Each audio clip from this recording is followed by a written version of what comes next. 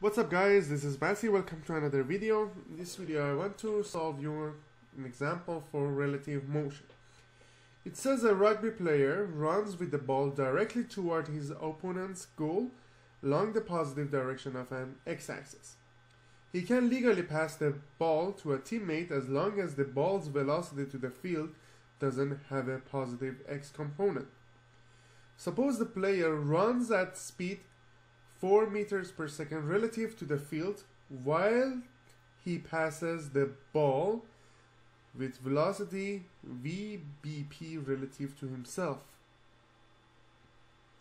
If vbp has magnitude 6 meters per second, what is the smallest angle it can have for the pass to be legal? VBP basically is going to be the velocity of ball with respect to the player while he is passing. So if we can say this one is velocity of player with respect to field and this is the velocity of ball with respect to field then velocity of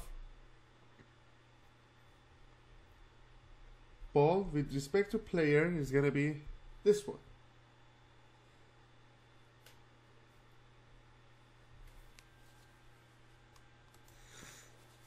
and this is gonna be the theta min. So that's gonna be the smallest angle and here is the goal. So we can say theta min equals to 180 minus cosine inverse of cosine v this is the adjacent VF divided by VBP.